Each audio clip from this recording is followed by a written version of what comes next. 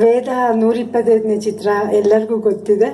ನಾವು ನೂರನೇ ಚಿತ್ರನೇ ಮಾಡಬೇಕಾಗಿತ್ತು, ಆದರೆ ಏನು ಬೇರೆ ಕಾರಣಾಂತರಗಳಿಂದ ಅದನ್ನ ಪ್ರೇಮ್ ಮತ್ತು ರಕ್ಷಿತಾ ಬೇಕು ಅಂತಂದಿದ್ರು ಸೊ ಅವರಿಗೆ ಬಿಟ್ಕೊಟ್ಟಿದ್ವಿ ಅದನ್ನು. ಆಮೇಲೆ ಈ ಫಿಲಮ್ನಲ್ಲಿ ನಾನು ಹೇಳಬೇಕಂದ್ರೆ ನಂಗೇನು ಪ್ರೊಡ್ಯೂಸರ್ ಅಂತ ನಂಗೆ ಅನಿಸ್ಲೇ ಇಲ್ಲ. ಯಾಕಂದ್ರೆ ಎಲ್ಲ ಕೆಲಸಗಳನ್ನು ಹರ್ಷ ಮಾಸ್ಟರ್ ನಂಗೆ ಅಲ್ಲಲ್ಲೇ ಹೇಳ್ಕೊಡ್ತಾ ಇದ್ರು. ಏನ್ ಮಾಡಬೇಕು, ಹೆಂಗ್ ಮಾಡ್ಬೇಕು ಅಂತ ಹೇಳ್ಬಿಟ್ಟು.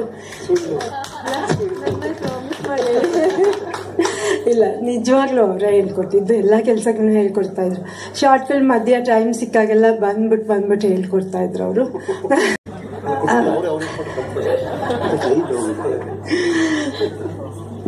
ಈ ಚಿತ್ರದಲ್ಲಿ ನನಗೆ ತುಂಬ ಒಳ್ಳೆ ಫ್ರೆಂಡ್ಸ್ ಸಿಕ್ಕಿದ್ರು ನನಗಿನ್ನ ತುಂಬ ಚಿಕ್ಕವರು ಗಾನವಿ ಅದಿತಿ ಆ್ಯಂಡ್ ಅದಿತಿ ಅವ್ರ ತಾಯಿ ಮೀರಾ ಎಲ್ಲರೂ. ಆಮೇಲೆ ಜೊತೆಗೆ ಹರ್ಷ ಮತ್ತು ಹರ್ಷ ಅವ್ರ ವೈಫ್ ಬಗ್ಗೆ ನಾನು ಹೇಳಲೇಬೇಕಾಗಿಲ್ಲ. ತುಂಬ ತುಂಬ ಎಲ್ಲೋ ಒಂದು ಕಡೆ ನನಗೊಂದು ಹೊಸ ಫ್ಯಾಮಿಲಿ ಎಕ್ಸ್ಟೆಂಡೆಡ್ ಫ್ಯಾಮಿಲಿಗಳು ಸಿಕ್ಕಂಗಾಯ್ತು.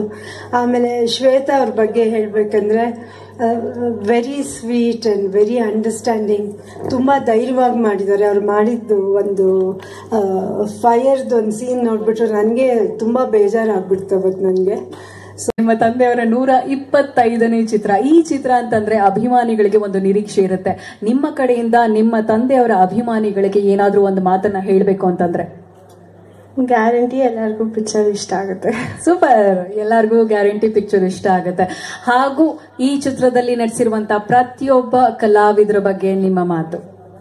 ಎಲ್ಲರೂ ತುಂಬಾ ಚೆನ್ನಾಗಿ ಮಾಡಿದ್ದಾರೆ ತುಂಬಾ ಹಾರ್ಡ್ ವರ್ಕ್ ಮಾಡಿದ್ದಾರೆ ಮೂವಿ ಎಲ್ಲರೂ ತುಂಬಾ ಚೆನ್ನಾಗಿ ಮಾಡಿದ್ರು, ತುಂಬಾ ಹಾರ್ಡ್ ವರ್ಕ್ ಮಾಡಿದ್ದಾರೆ. ಅಂಡ್ ನಿಮ್ಮ ಸಪೋರ್ಟ್ ಖಂಡಿತವಾಗ್ಲೂ ನಮ್ಮ ಸಿನಿಮಾ ತಂಡಕ್ಕೆ ಡೇ ಒನ್ ಇಂದ ಇದೆ ನಿವಿ ಅವರೇ. Thank you so so much and ನಿಮ್ಗೆ ಕೂಡ ಆಲ್ ದ ಬೆಸ್ಟ್ ವೇದ ಚಿತ್ರ ರಿಲೀಸ್ ಆಗ್ತಾ ಇದೆ. Thank you so much thank you ma'am thank you